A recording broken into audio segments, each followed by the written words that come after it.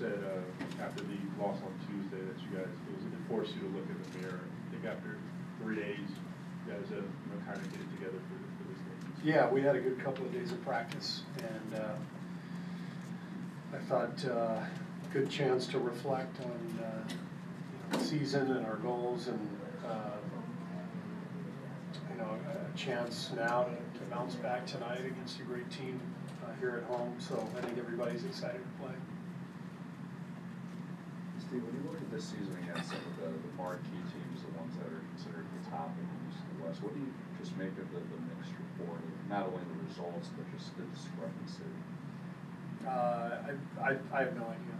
Um, We've had some, some great nights and then we've had some very poor uh, efforts. Um, So uh, the only thing you can do is you know, lock in on today. And I do think that there's, um, you know, our guys sense that we're now on the home stretch and that, that should be a positive for us.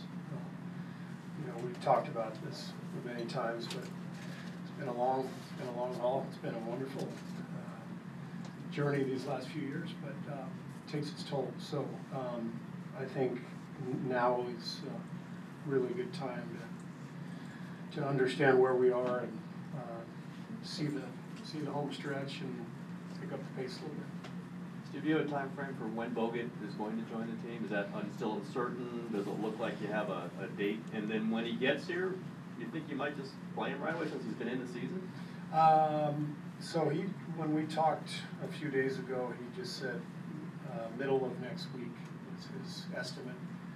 I know we'll be on the road. Um, I know he mentioned that uh, the visa issue is, um, a little bit tricky. I think he's got to arrive and then fly up to Vancouver and, uh, fly back before, before all that is resolved. So it's a little, a little tricky, but, uh, good thing with Bogues, and one of the reasons we were interested in him is he knows, he knows us, he knows our, our style. It'll take him about five minutes to pick up the offense because it's basically the same as, as it was when he was here. Uh, I- we know he's in good